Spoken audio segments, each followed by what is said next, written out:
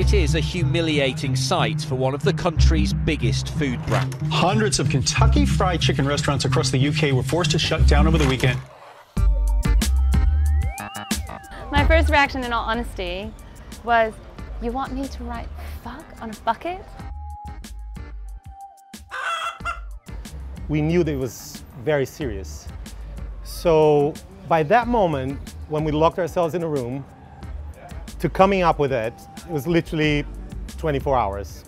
Like, we've tweaked the copy a bit, but have a look again. And my second reaction was, seriously, you want me to turn my brand into a swear word? We put it under the nose of, of one of the our one of our lawyers, and she just instantly smiled, and we just knew people were going to smile at this. We we we know this guy so well now, and we knew that the last thing they would want to do at that moment is to put out a very robotic corporate message. Um, I, am in the firm belief that they would have preferred to do nothing than to put something that is uncharacteristic. And uh, we've seen so many of those bad ads. In my humble opinion, they make the situation worse. And luckily for us, again, the British have such a knack for a sense of humor. They love to make light of situations. They use swear in a very sophisticated way. What we needed at that time was something that showed vulnerably, I guess, us as humans and showed the humanity that sits within the brand.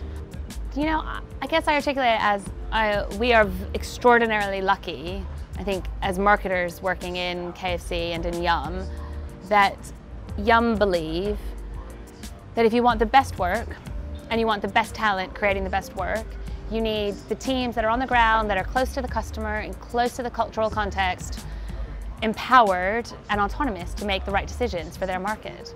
Um, and so that's what you do get around the world, which is local teams making brand decisions and advertising decisions and communications decisions that are right for their customers and their markets. But in times of crisis, maybe it's a good idea to call your agencies as well as, as your lawyers. I, we called you right away.